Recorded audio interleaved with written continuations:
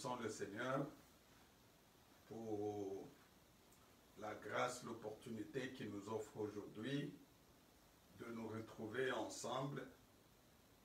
Avant de commencer, nous allons chanter un cantique qui dit Tout joyeux bénissons le Seigneur. Chantons et célébrons ses louanges. Adorons avec foi le Seigneur. Nous joignons au cantique des anges. Es-tu joyeux ce matin pour louer le Seigneur avec moi? Parce que la joie ne vient que de la part de Dieu. Nous chantons tous ensemble. Tout joyeux bénissant le Seigneur. Chantons et célébrons ce louange, adorons avec foi les sauvés. Nous joignons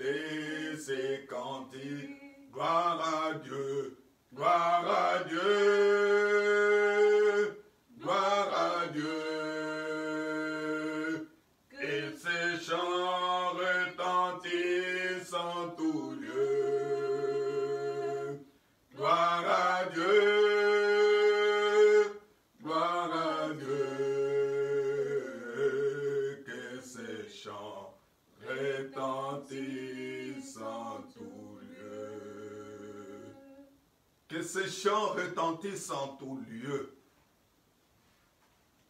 Que ça soit dans n'importe quel continent. Tu es le vrai et le seul Dieu, le Dieu véritable. C'est lui qui doit être élevé. Ce matin, nous sommes dans la joie de nous retrouver devant ta face parce que tu es Dieu.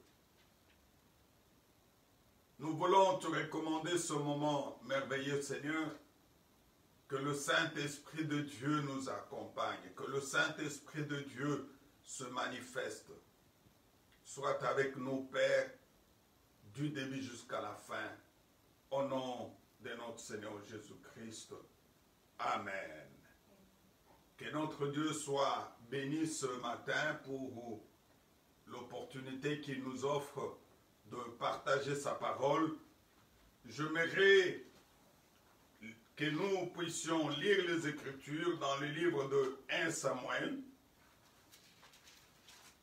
1 Samuel chapitre 23, à partir de verset 1. C'est ça le texte de base. Nous commençons par euh, le verset 1. On vint dire à David, voici le Philistin ont attaqué Et il pille les airs. David consulta l'Éternel en disant, Irai-je et battrai-je ces Philistins? Et l'Éternel lui répondit, Va, tu battras les Philistins et tu délivreras Keïla. Mais les gens de David lui dirent, Voici, nous ne sommes pas sans craindre ici, même en Juda. Quel sera ceci? Nous allons accueillir contre le troupe de Philistins. David consulta l'Éternel Et l'Éternel lui répondit, Lève-toi, descends à Keïla, car je livre le Philistin entre les mains. David alla donc avec ses gens à Keïla, et il s'est battu contre le Philistin. Il amena leur bétail, et en fit éprouver une grande défaite. Ainsi David délivra les habitants des Philistins. Et lorsque Abiatar, fils d'Achiméléa, s'enfuit devant David à Keïla, il descendit ayant amené l'étoffe. Saoul fit informer de l'arrivée de David à Keïla. Et il dit, Dieu le livre entre mes mains, car il est venu s'enfermer dans une ville qui a des portes et des barres. Et Saoul convoqua tout le peuple à la guerre afin de descendre à Keïla et siéger David et ses gens. David, ayant eu connaissance du mauvais désir que Saoul projetait contre lui, dit au sacrificateur Abiatar, apporte l'étoffe.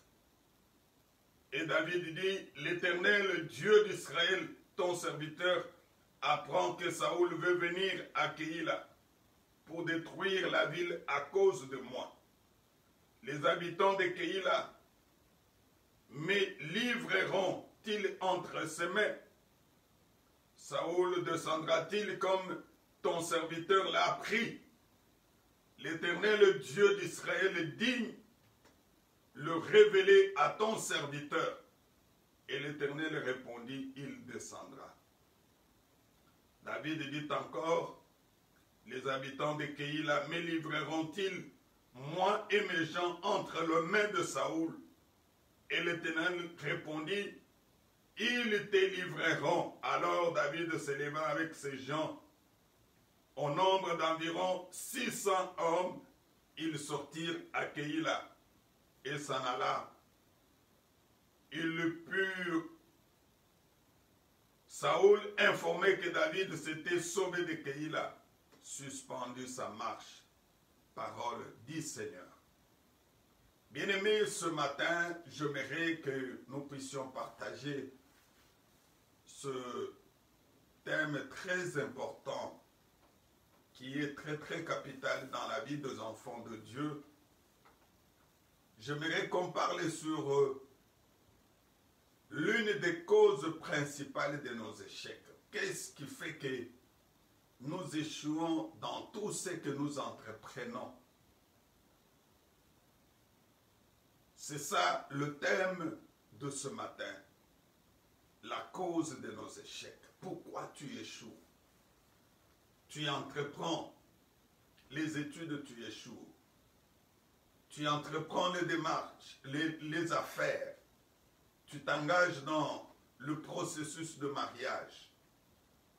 Tu échoues. Est-ce que tu consultes Dieu avant de t'engager dans tout ce que tu veux faire? Le texte que nous venons de lire nous parle de l'histoire du roi David.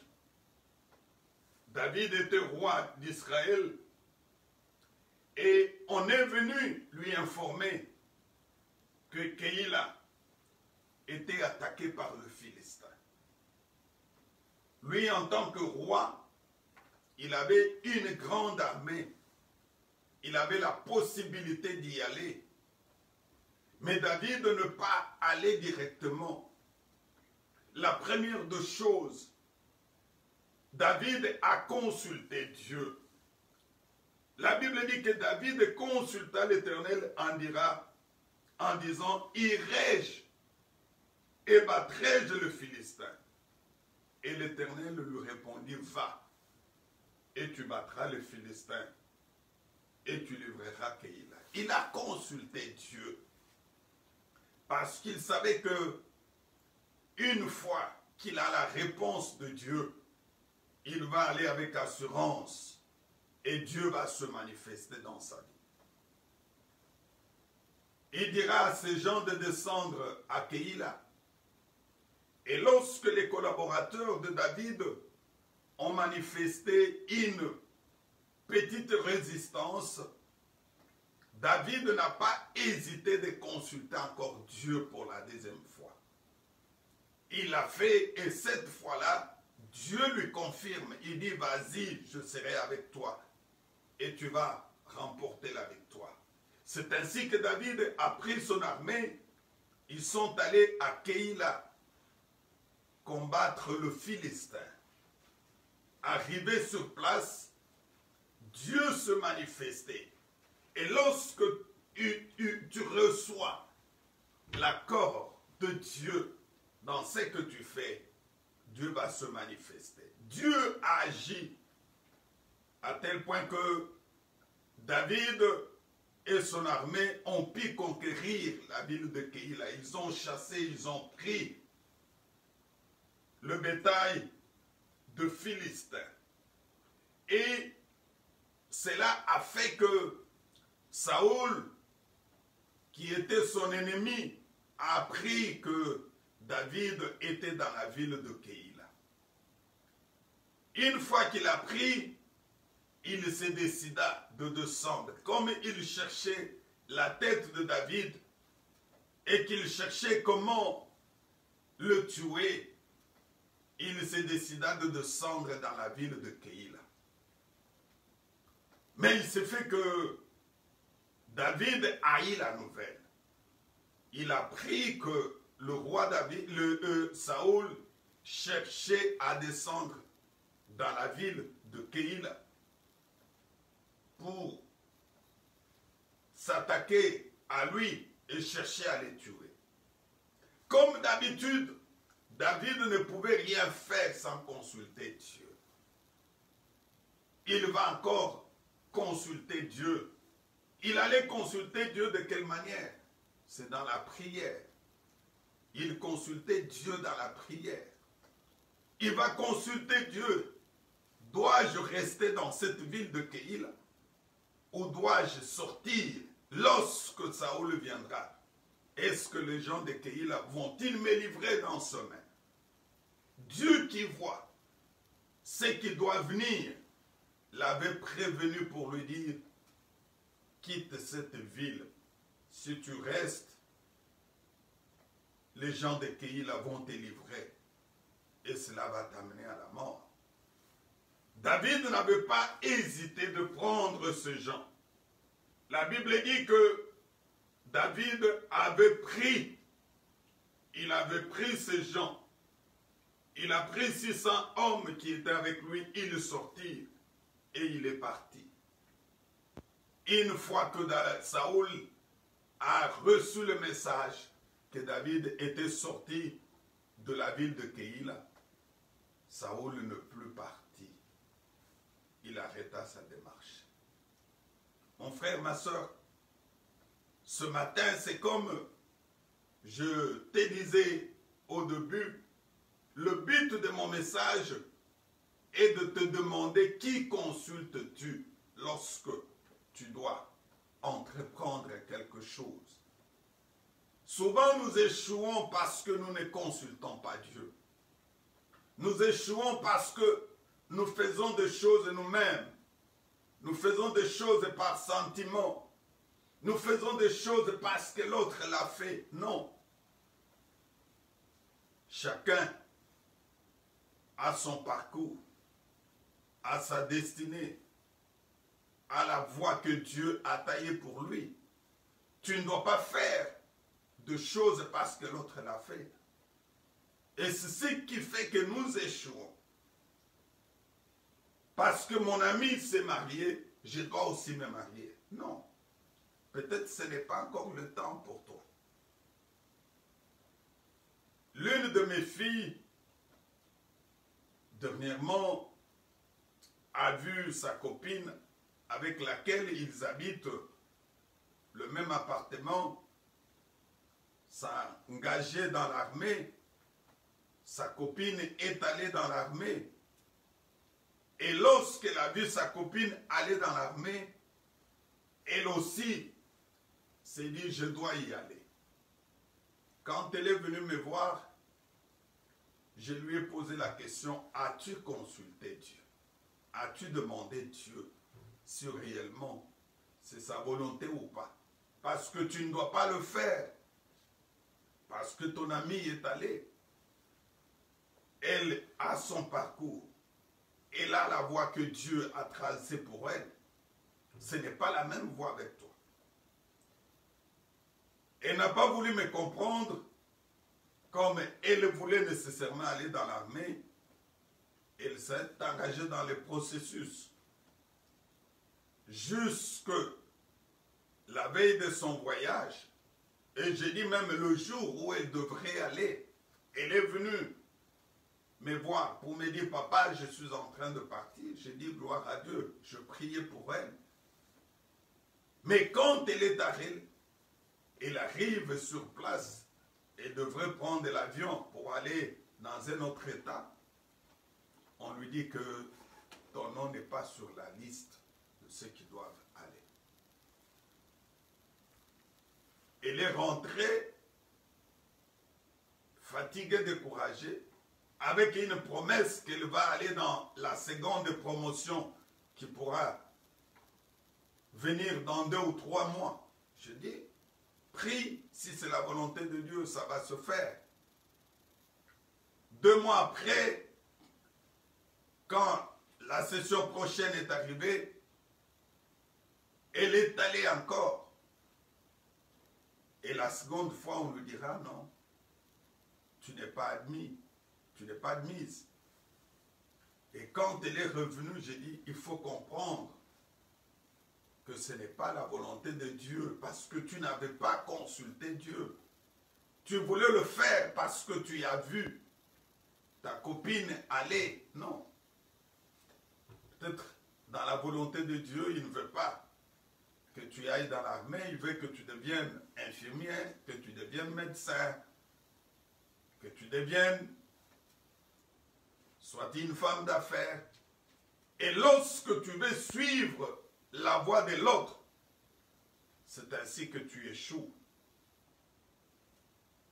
Mon bien-aimé, toi qui me suis ce matin, as-tu l'habitude de consulter Dieu lorsque tu veux faire quelque chose? Nous voyons les hommes en général consulter le médecin, les spécialistes pour leur santé, c'est une bonne chose. Tu vas consulter le médecin parce que je voudrais connaître l'état de ma santé. Il y a ceux qui vont consulter les avocats, les juristes et les notaires dans les cadre de leurs affaires parce qu'il a besoin d'avoir une orientation. Je voudrais entreprendre une affaire.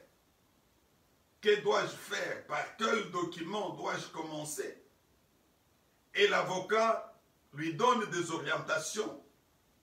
C'est la meilleure des choses. Et nous les voyons aussi, ceux qui vont consulter de psychologues, ils vont chez les psychiatres. Lorsqu'ils ont des problèmes, des troubles d'esprit, des troubles d'âme, c'est une bonne chose. Est-ce que nous le faisons aussi?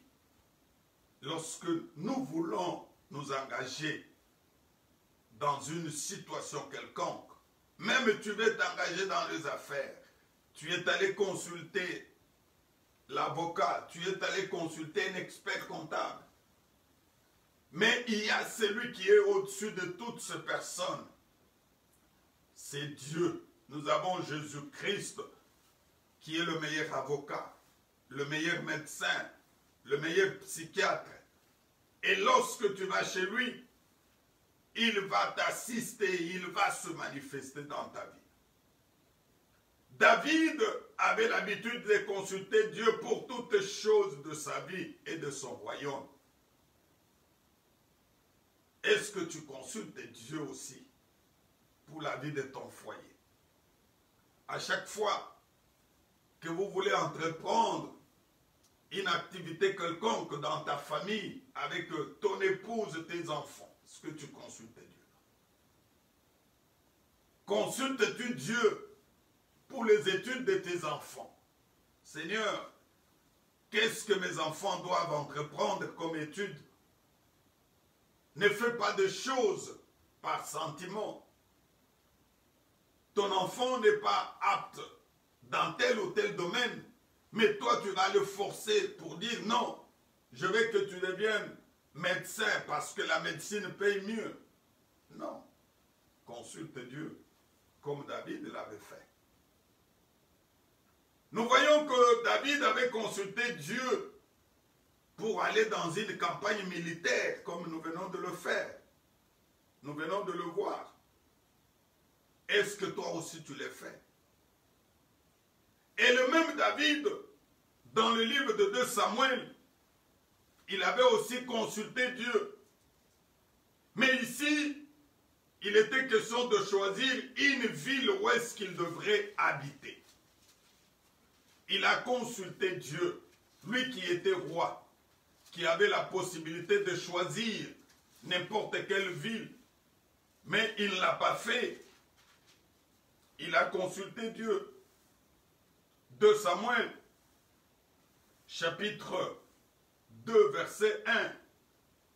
La Bible dit qu'après cela, David consulta l'Éternel en disant, Monterai-je dans une de villes de Juda? L'Éternel lui répondit, Monte. David dit, Où monterai-je? Et l'Éternel répondit, À Hébron. Il devrait choisir une ville où il devrait nécessairement aller s'installer. Mais Dieu, qui connaissait ce qui devrait arriver dans la vie de David, il va lui donner des orientations. Il dit monte à Hébron. Il savait que lorsqu'il montera à Hébron, il sera loin.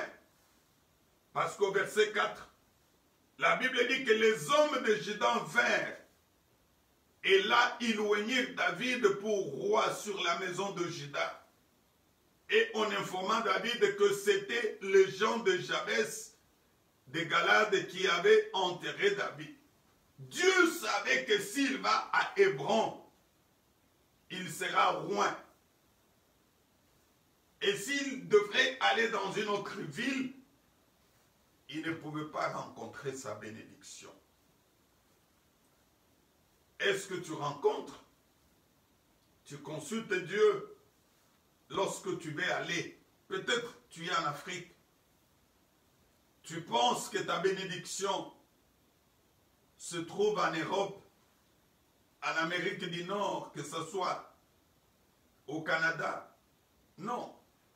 Consulte Dieu. Si le Seigneur te dit vas-y, tu y vas.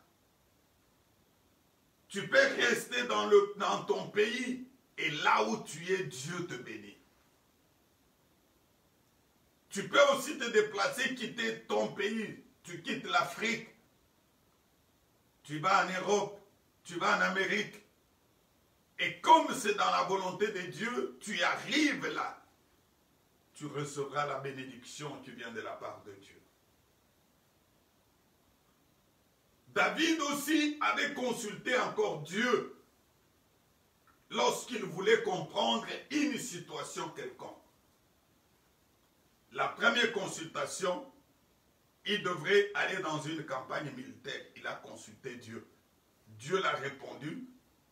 Il est allé, il a remporté la victoire. Deuxième consultation, deuxième exemple, il a consulté Dieu parce que il voulait choisir la ville où il doit habiter.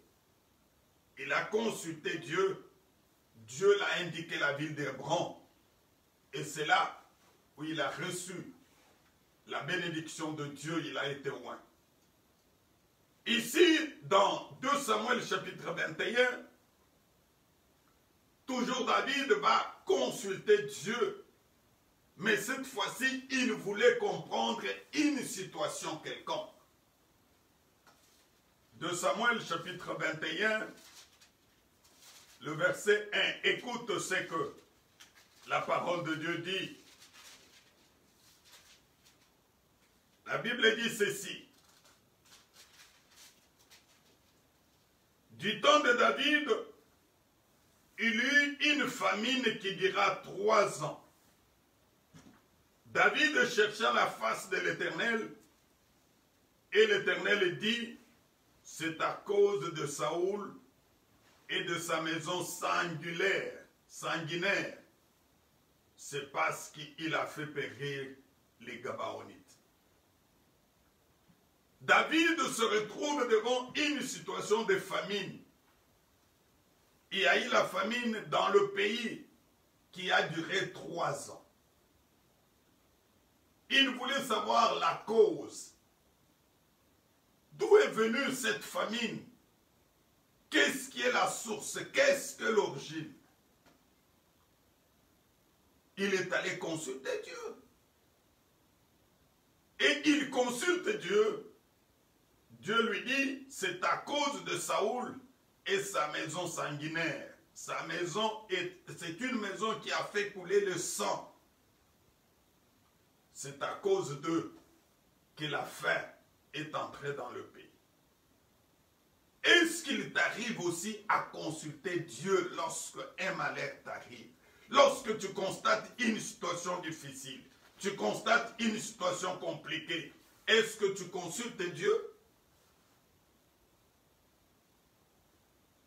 Mon frère, ma soeur, il faut consulter Dieu pour connaître les causes de ton échec. Pourquoi? J'échoue Pourquoi les autres réussissent? Moi, je ne réussis pas. Pourquoi ma souffrance est-elle toujours continuelle? Quand tu consultes Dieu, Dieu va te parler. Il y a consultation et consultation. Je vais y arriver et je vais te montrer de quelle manière peux-tu consulter Dieu? Parce que tu peux consulter Dieu et Dieu ne te répond pas. Le silence de Dieu ne signifie pas que tu dois aller au-delà. Parce que nous le voyons aussi du temps de Saoul, Saoul avait consulté Dieu. Dieu n'avait pas répondu. Mais quand Dieu n'a pas répondu, Saoul est allé plus loin. Un roi, un Samuel, j'aimerais qu'on rentre. Là, je parle de Saoul. Un Samuel, chapitre 28, verset 6 à 7.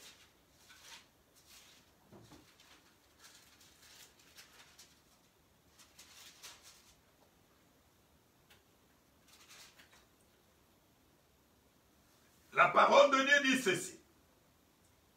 Ici, je parle de Saoul. Parce que Saoul fut roi avant David. C'est après lui que Dieu, lorsque Dieu l'a rejeté, et Dieu a pris maintenant David. Ici, je parle de Saoul lorsqu'il fut roi. La Bible dit que Saoul consulta l'Éternel et l'Éternel ne lui répondit point, ni par des songes, ni par l'urim, ni par de prophètes. Il a consulté Dieu. Dieu ne l'a pas répondu. Dieu qui avait l'habitude de le répondre. Mais cette fois-là, Dieu ne l'a pas répondu. Ni par les songes, ni par l'urim, ni par les prophètes. Au lieu que David s'arrête là-bas, non, il est allé plus loin. Le verset 7 dit, et Saoul dit à ses serviteurs, cherchez pour moi une femme qui évoque les morts, et j'irai la consulter. Ses serviteurs lui dirent, voici, en dehors, il y a une femme qui évoque les morts. Alors Saoul se déguisa et prit d'autres vêtements. Et il partit avec des hommes. Ils arrivèrent de nuit chez la femme. Saoul lui dit, prédis-moi l'avenir en invoquant un mort et fais-moi remonter c'est lui que je te dirai. La femme lui répondit, voici, tu sais ce que Saoul a fait. Comment il a retranché du pays ceux qui évoquent les morts et ceux qui prédisent l'avenir. Pourquoi donc attends-tu? Pourquoi donc tends-tu un piège à ma vie pour me faire mourir? Lorsque Saoul n'a pas reçu la réponse venant de la part de Dieu, parce que Dieu l'avait déjà rejeté, Dieu lui avait déjà tourné le dos, à cause de son comportement, à cause de sa vie. Il ne s'est pas arrêté là-bas. Il est allé plus loin. Il est allé consulter une femme qui invoquait les morts. Et pour y aller, il s'est déguisé. Parce qu'il savait que s'il va comme cela, la femme va la reconnaître. Mais il arrive sur cette femme qui était là pour évoquer les morts. Et cette femme l'a reconnu. Oui, le diable aussi reconnaît. Le diable peut te parler. Le diable connaît ta vie. Mais ce qu'il te dit, ce n'est pas, pour pas pour ton bonheur, c'est pour ta destruction. Le diable est là pour imiter. Il fait la photocopie, mais il ne fait pas l'original. Est-ce qu'aujourd'hui, tu n'es pas dans le chemin de Saoul parce que Dieu ne t'a pas répondu, parce que tu l'as consulté? Tu t'es dit non, je dois aller plus loin. Je dois aller consulter marabout, un devin, un magicien, je dois aller consulter les gens qui regardent le main. Lorsqu'ils regardent dans ta main, ils commencent à te dire ceci ou cela. Mon frère, ma soeur, je te dis, il n'y a que Dieu qui peut te montrer la bonne voie et qui peut t'orienter. Ne sois pas comme Saoul qui était allé consulter d'autres dieux. J'aimerais que tu sois comme d'autres serviteurs qui l'ont fait. Lorsque tu lis dans les livres d'un roi, chapitre 2, versets 2 à 4, tu verras l'histoire, l'histoire de Roboam, qui avait cherché beaucoup de conseillers.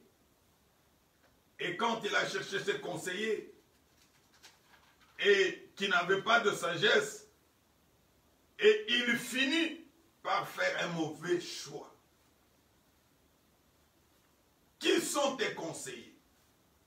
Qui consultes-tu lorsque tu veux prendre une décision? Lorsque tu veux faire quelque chose? Est-ce que tu consultes Dieu ou tu consultes tes conseillers? Tu en as qui, qui est ton conseiller? Qui est ta conseillère? Il y a un frère qui te demande la main de mariage, au lieu que tu t'engages avec le frère, au lieu que tu consultes Dieu, tu vas consulter une amie. Oh voilà, il y a tel frère qui m'a demandé la main. Dois-je l'accepter ou pas? La sœur que tu vas demander a toujours envié ce frère.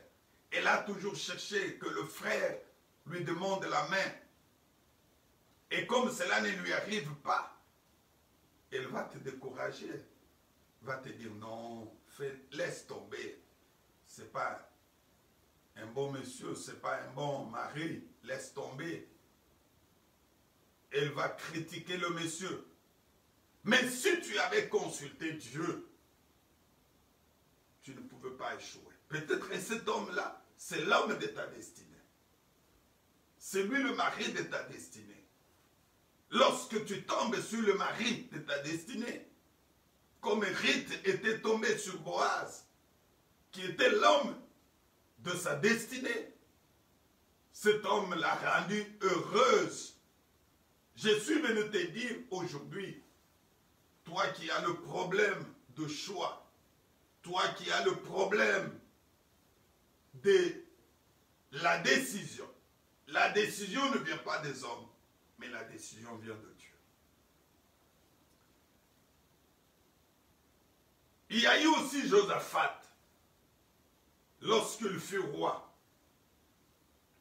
Il avait une doute, il était dans le doute. Là, tu peux lire dans le livre de 1 roi, chapitre 22, verset 6. Il était dans une doute, mais il a consulté Dieu pour avoir la confirmation. Tu peux te retrouver dans une doute, mais quand tu consultes Dieu, Dieu va te donner la confirmation. Mais quand tu vas consulter les hommes, les hommes ne te donneront pas la confirmation. Mais au contraire, ils vont te dérouter. Ils vont t'éloigner loin de la présence de Dieu.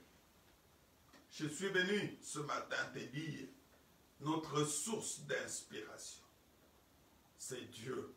Lorsque tu veux consulter, il faut aller vers Dieu. Aujourd'hui, comment consulter Dieu? C'est la question fondamentale que nous devons répondre. Là, je parlais de ceux de l'Ancien Testament. Mais nous, aujourd'hui, comment consulter Dieu? La première voie par laquelle nous devons consulter Dieu, c'est d'aller dans la maison de Dieu. Il faut aller dans la maison de Dieu, dans la maison de l'Éternel. Quand tu vas dans la maison de l'Éternel, Dieu va se manifester dans ta vie et tu vivras la grandeur et la gloire de Dieu. C'est dans la maison de Dieu où il y a tout. Et quand tu vas dans la maison de Dieu, tu vivras la gloire de Dieu. Psaume chapitre 122, verset 1. David dit, je suis dans la joie quand on me dit d'aller dans la maison de l'Éternel. Es-tu dans la joie lorsqu'on te dit d'aller dans la maison de l'Éternel?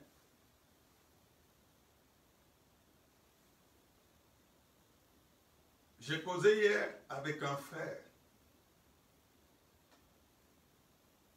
Il me dit, ça fait plus de deux ans qu'il ne va pas dans l'église. Depuis que le Covid avait commencé, il n'a plus mis ses pieds dans l'église. Je dis, ah frère, c'est bien. Est-ce que pendant deux ans, tu ne vas pas aussi au travail? Il m'a dit non, j'y vais chaque jour, pasteur. Si je ne veux pas travailler, comment vivre avec ma famille? J'ai dit, si tu vas travailler, c'est Dieu qui te donne le souffle de vie.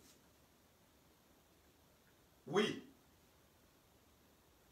il y a Covid, et cela ne peut pas nous empêcher d'aller dans la maison de Dieu. Si autrefois on n'y allait pas, on suivait les cultes par réseaux sociaux. Mais aujourd'hui, les cultes ont repris. Pourquoi ne pas y aller? Je suis dans la joie lorsqu'on me dit d'aller dans la maison de l'Éternel. Quand tu vas dans la maison de l'Éternel, Dieu va te parler. Tu vas consulter Dieu. Tu arrives à l'église, on prêche et ce qu'on prêche, c'est ça ta situation. On prêche, Dieu te donne la solution. Mais pourquoi ne pas aller dans la maison de Dieu? Je t'invite, mon frère, ma soeur,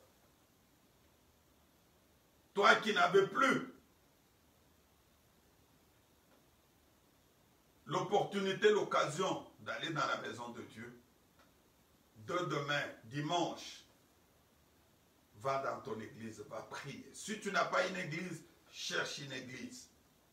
Va prier. Dieu a besoin de te communiquer quelque chose. Deuxième voie par laquelle nous devons aussi consulter Dieu, c'est par la prière. D'ailleurs, c'est la meilleure façon de consulter Dieu. Lorsque nous lisons dans les livres de deux rois, chapitre 19. De Roi chapitre 19, tu verras que Dieu est en train de parler sur euh, des grandes choses. De Roi chapitre 19, verset 14 à 20. Ézéchias prit la lettre de la main de messager et la lut. Puis il monta à la maison de l'Éternel et la déployant devant l'Éternel, à qui il adressa cette prière. Éternel Dieu d'Israël, assis sur le chérubin, c'est toi qui es le seul Dieu et de tout le royaume de la terre. C'est toi qui as fait le ciel et la terre. Éternel, incline ton oreille et écoute, Éternel. Ouvre tes yeux et regarde. Entends les paroles de Saint-Christ qui a envoyé Rachabé pour insulter au Dieu vivant. Il est vrai, ô Éternel, que les trois Assyriens ont détruit les nations de ravage de leur pays et qu'ils ont jeté leur Dieu dans le feu. Mais ce n'est point de Dieu, c'est un ouvrage de mains d'hommes, du bois et de la pierre. Et ils les ont anéantis. Maintenant, éternel, notre Dieu, délivre-nous de la main de Sacrébin et que tout le royaume de la terre sache que toi seul es Dieu, ô éternel. Et Esaïe, fils d'Amon, en voyant dire à Ézéchias, Ainsi parle l'Éternel, le Dieu d'Israël, j'ai entendu la prière que tu m'as adressée au sujet de Sancribin, le roi d'Israël. Voici là la parole que l'Éternel a prononcée contre lui. Ici, le roi Ézéchias reçoit une lettre où il y a des menaces. Il reçoit une lettre et se trouvant devant une difficulté, Ézéchias ne pouvait qu'aller devant la face de Dieu dans la prière. La Bible dit que Ézéchias s'adressa, adressa cette prière à Dieu. Il dit, Éternel, incline ton oreille. Il faut que Dieu incline son oreille pour entendre. Il dit, ouvre tes yeux. Vous savez, quand Dieu ouvre les yeux sur ta situation, mon frère, elle ne peut pas demeurer la même. Ta situation reste la même parce que Dieu n'a pas encore ouvert, n'a pas encore ouvert les yeux, n'a pas encore incliné son oreille, n'a pas encore entendu. Et lorsque Dieu entendra, le miracle qui va s'opérer. Pendant qu'il priait, Esaïe n'était pas avec lui. Esaïe, le prophète de Dieu, reçoit le message venant de Dieu. Il dit, va dire au roi Ézéchias, j'ai entendu. Va lui dire, ainsi par l'Éternel, j'ai entendu sa prière qu'il m'a adressée et au sujet, voici ce qui va se faire. Oh mon frère, la prière, c'est la voie la plus indiquée pour toi et moi pour consulter Dieu. Lorsque nous consultons Dieu dans la prière, Dieu se manifeste. Pourquoi tu ne pries pas? Pourquoi tu ne pries pas? Tu peux aller prier, tu peux aussi t'associer. Prier avec un prophète pour que Dieu te parle. Ce n'est pas mauvais. Mais il ne faut pas faire d'un prophète un devin, un bikoudi. Tu ne pries pas, tu viens, non. Dis-moi, qu'est-ce que Dieu a? Non. Vous pouvez prier. et Dieu va te parler. Tu peux aller consulter un prophète de Dieu, vous priez et Dieu donne le message. Le prophète va te communiquer ce qui vient de la part de Dieu. Il ne va pas te communiquer ce qui vient de lui. Mais ne faisons pas des prophètes nos devins. Non. Les prophètes sont des instruments de Dieu. Ici, Dieu a utilisé le prophète Esaïe. Nous aussi, Dieu utilise les prophètes pour nous parler. Il nous communique le message. Tu pries et Dieu te communique le message par le canal du prophète. C'est biblique. Mais ne fais pas du prophète un devin. Ne fais pas du prophète ton ami. Et lorsque tu vas consulter le prophète, il ne faut pas que le prophète te parle ce que toi tu veux. Non, le prophète doit te parler ce que Dieu lui a dit. Souvent, nous allons consulter les prophètes avec une réponse déjà en avance. Je veux qu'ils me disent ceci. Non. Il faut consulter les prophètes pour recevoir la réponse qui vient de la part de Dieu. Je vais terminer avec, euh, toujours dans la prière, le dernier verset dans 1 Pierre, chapitre 3, verset 12.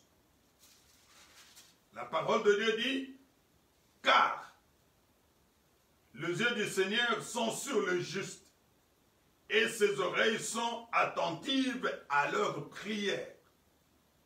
Mais la face du Seigneur est contre ceux qui font le mal. Les yeux du Seigneur sont sur le juste et ses oreilles sont attentives à leurs prières. Lorsque tu pries, Dieu va écouter. Mon frère, ma soeur, pourquoi tu échoues? C'est parce que tu ne consultes pas Dieu. Tu prends tes décisions seul. Tu te décides selon ta propre volonté et non pas selon la volonté de Dieu. Tu penses que tu n'as rien, tu n'as personne à poser ton problème. Non. Il faut parfois consulter l'homme de Dieu, ton pasteur. Il faut aller voir ton pasteur, lui poser le problème. Lui en tant qu'instrument que Dieu a placé devant toi il pourra te donner des orientations. Il peut arriver aussi que tu pries toi-même seul. Je ne dis pas qu'il faut nécessairement, non. Si le Saint-Esprit t'inspire d'aller voir l'homme de Dieu, ce n'est pas une mauvaise chose. Et nous le voyons. Lorsque Saoul cherchait les ânesses de son père, L'autre lui a dit, allons voir les voyants. À l'époque, les prophètes étaient appelés les voyants. Et lorsqu'ils sont allés voir les voyants, ces voyants-là, c'était Samuel. Il lui a parlé. Il dit, les ânesses de ton père que tu cherches sont déjà là. Il a reçu la réponse. Et toi aussi, quand tu consultes un prophète de Dieu, le Seigneur va te parler. Si réellement il est prophète de Dieu et s'il marche dans la crainte de Dieu. Parce qu'aujourd'hui, nous avons beaucoup de charlatans. Aujourd'hui, il y a beaucoup qui font la honte. Ils se disent prophètes. Mais ce qu'ils font, ce qu'ils parlent, ne reflète pas la vie d'un prophète. Mais si tu consultes un vrai prophète, Dieu va te parler. Qui consultes-tu Je veux prier avec toi, mon frère, ma soeur. Nous échouons parce que nous ne consultons pas Dieu. David avait consulté Dieu dans des situations différentes. Lorsqu'il devrait aller dans une campagne militaire, quand il devrait choisir la ville où il devrait résider, lorsqu'il voulait connaître la cause de la famine qui avait frappé pendant trois ans, et à chaque fois qu'il consultait Dieu, le Seigneur lui a parlé.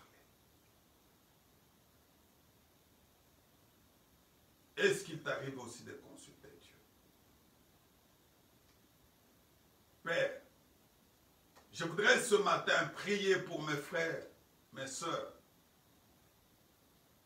qui sont en difficulté à cause de leur choix, parce que ils ne t'ont pas consulté. Aujourd'hui, ils éprouvent des difficultés dans leur mariage parce qu'ils avaient fait le choix eux-mêmes. Même sur le plan professionnel, même dans le ministère, lorsqu'on ne consulte pas Dieu, on ne peut pas réussir. Je voudrais que ta grâce descende sur chacun de nous et que nous te mettions en première position. Toi qui es la solution, qui est la source. Que nous ne soyons pas comme Saoul. Une fois n'avoir pas eu la réponse de Dieu lorsque Dieu est resté en silence. Saoul est allé consulter les gens qui évoquaient les esprits. Non. Nous voulons marcher sous tes pas, sous tes pieds. Nous voulons vivre ta grandeur, ta gloire. Sois élevé ce matin au nom de notre Seigneur Jésus-Christ. Amen. Que mon Dieu vous bénisse. Tu peux partager cet enseignement. Qui consultes-tu Tu peux partager avec tes amis. Liker aussi, aimer la vidéo et surtout t'abonner sur notre chaîne YouTube, Cité de la Gloire TV. Abonnez-vous nombreux, soyez partenaires, priez pour ce ministère, priez pour le travail de Dieu et le Seigneur vous bénira abondamment. Que Dieu vous bénisse.